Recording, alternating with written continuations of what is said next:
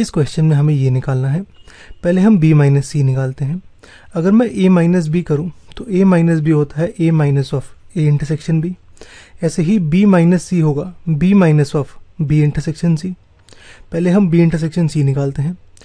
Intersection होता है मेरा common of the two set यानी b और c में जो भी कॉमन है, उसका सेट बना दूँ तो b इंटरसेक्शन c आ जाएगा। यहाँ b और c में कॉमन है फोर और सिक्स तो b इंटरसेक्शन c आ जाएगा। Four comma six. तो b minus b intersection c यानी b माइनस सी आ जाएगा मेरा। ये सेट माइनस इस सेट के एलिमेंट्स यानी इस सेट में से अगर मैं फोर और सिक्स हटा दूँ तो मेरा b माइनस सी आ जाएगा। ये मेरा आएगा टू कॉमा एट तो b माइनस सी की वैल्यू आ गई टू कॉमा एट लेकिन हमें निकालना है b माइनस सी का कॉम्प्लीमेंट किसी भी सेट का कॉम्प्लीमेंट निकालना हो तो मेरे को u से माइनस करना पड़ता है उस सेट को। तो u, b माइनस सी का कॉम्प्लीमेंट होगा। U minus b minus c u की वैल्यू और बी माइनस सी की वैल्यू डालता हूँ। ये मेरा कुछ ऐसे आ जाएगा।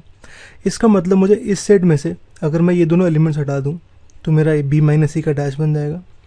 अगर मैं यहाँ से टू हटा देता हूँ एट हटा देता हूँ, बचता है मेरा one three four five six seven और नाइन तो बी माइनस सी का डैश आ जाएगा मेरा ये।